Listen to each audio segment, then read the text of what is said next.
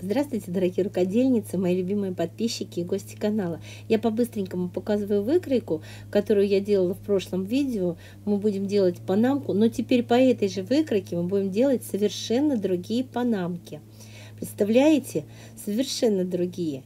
Кто не успевает разобраться, вы можете либо поставить скорость более медленную, либо я оставлю в описании ссылочку на предыдущее видео, где я делала эту выкройку. И вы тогда подробненько все посмотрите и ничего не упустите, все поймете. Девочки, я приехала на дачу озвучивать видео и в надежде, что здесь будет тихо, потому что за окном у меня дорога и шумит.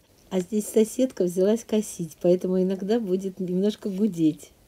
После того, как я все подготовила, начинаю обводить свою выкройку, э, отступая 5 миллиметров от э, бумажки э, выкроенной.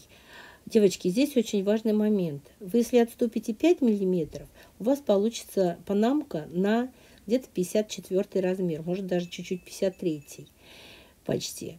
Вот, значит, если вы отступите сантиметр, то у вас получится уже на 60 размер. 8 миллиметров отступите, где-то вот 56-57 размер получится. То есть вот благодаря вот этому припуску, который вы будете делать, вы можете регулировать свой размер. А я продолжаю, вырезаю вот все детали. У меня теперь круглая часть. Кстати, круглую часть можно вырезать уже после того, как вы сошьете все вот эти вот детальки 6 штучек и уже просто померяете э, длину окружности и вычислите радиус. Но я вот делаю с таким же припуском и в принципе более-менее все сходится. Вырезаю круглые детали, э, опять же белого цвета и вот цветную ну, потому что лицо и изнанка нужна. И я решила делать одновременно несколько панамок, но буду показывать на разноцветные. Просто показала, что у меня еще вот такие. Вот мне показалось, что джинса с клеточкой будет очень симпатично смотреться. Но мы продолжаем. Простите, что здесь вот у меня не в фокусе получилось. Как-то я не сразу заметила, что у меня мутноватое изображение. Увлеклась процессом. Но потом все поправила складываем цветную деталь лицом вниз, сверху белую, потом сверху на нее опять белую и, и сверху цветную лицом вверх. И сшиваем вот прям по цветной детали. Так, чтобы у нас шов получился снаружи. Для того, чтобы сделать одинаковые припуски, я вот отмечаю, я буду делать припуск 1 сантиметр отметила его на бумаге, зафиксировала этот сантиметр иголкой и очень близко к краю бумаги прилепляю изоленту. Она мне будет показывать, где у меня должен быть край моей заготовки. Беру свою заготовочку и начинаю строчить. Делаю закрепки в начале, в конце. И так вот, смотрите, прямо вот очень удобно, когда видно, какой припуск нужно делать. Я на одной паре деталей показываю все, а если вы делаете сразу несколько панамок, можно это все по точным методам, не обрывая ниток, э, сшивать, а потом уже просто э, переходить к, следующему, к следующим парам. Ну вот, теперь беру свои эти пары сшитые и тоже также сшиваю швами наружу. Вот так вот я показываю все шовчики, сшиваю. Уже на машинке я не буду снимать. Вот получилась вот такая панамка. Уже в этом моменте можно померить ее и прикинуть, как вам по размеру.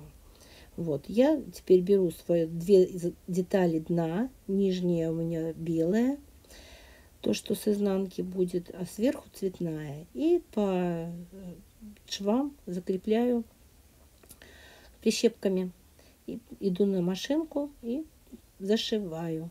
Смотрите, то же самое я прошью 1 сантиметр от края, отступая по нижней части панамки, по полям.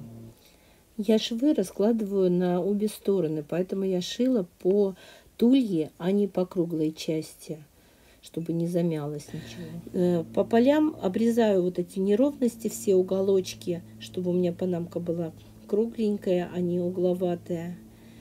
Вот, все, чтобы было ровненько и красиво. После того, как у меня уже практически все готово, мне надо вот разрезать все швы. У нас будут швы растрепанные. По, по уголочкам вот так вот я нижние вот вертикально режу. самые и верхние, а все боковые режу вот горизонтально. Ножницы, если острые, то без проблем. У меня кончики уже почти не режут, поэтому я вот серединкой ножниц, ну так быстрее. Но надо внимательно, чтобы не прорезать вот строчку. Не доходя до строчки где-то миллиметр или даже два, э, режьте аккуратненько. Итак, вот все швы я порезала. Вот. Я хотела еще, знаете, девочки, что сказать, что вот э, у кого, кто померит, у меня померила, у меня получилось стулья для меня высоковато, и поэтому я где-то вот сантиметр, а даже с копейками, может, сантиметр, два миллиметра обрезала она у меня стала покороче. Потому что если у меня высокая тулья, то у меня эта панамка полностью закрывает обзор. Надо обязательно отворачивать. Вы тоже посмотрите, может быть, вам тоже нужно будет подрезать. Либо вот так вот сделать, как я сделала еще одну панамку. Я этот шов зашила внутрь. То есть нужно просто взять, вот обрезать поближе к краешку, прям припуск оставить там 2 миллиметрика, а потом взять и внутрь его зашить изнутри. И получится, что он спрятанный, этот шов. И вот такая вот получается панамка сверху без растрепышей. Но это на вкус и цвет, товарищи, нет, как вам понравится. Я просто и та, тут обрезала э, высоту тульи, а здесь вот ее зашила, и в результате стала она меньше. Я беру мешок, в котором буду стирать все это.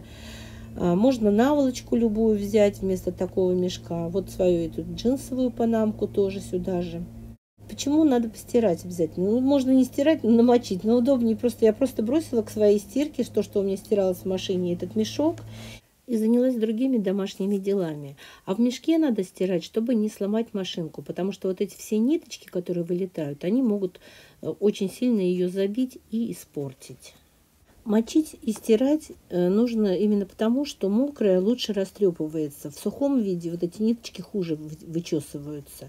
Я обычно этим занимаюсь в ванной, потому что эти нитки в ванной потом очень легко будет собрать. Поэтому я пойду в ванную, все панамки растреплю, а потом вернусь к вам и уже покажу результат. Ну вот, готово. Вот так выглядит панамка, которая с размахренным швом сверху то, что где я просто на сантиметр тулью укоротила, но ничего не подшивала. Вот здесь я подшивала.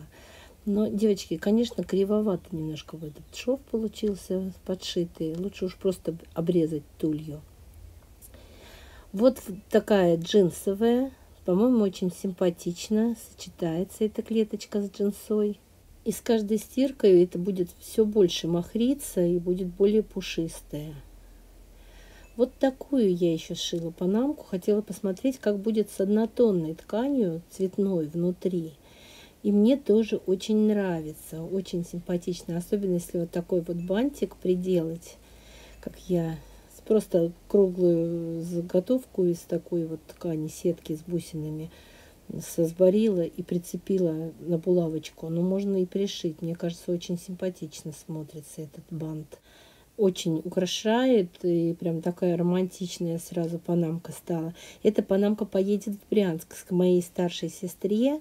Это большого размера, у нее 60 размер головы, и я вот как раз для нее ее сшила.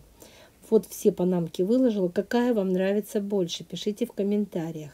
В принципе, любую из них можно украсить бантиком или как вы захотите, что придумаете.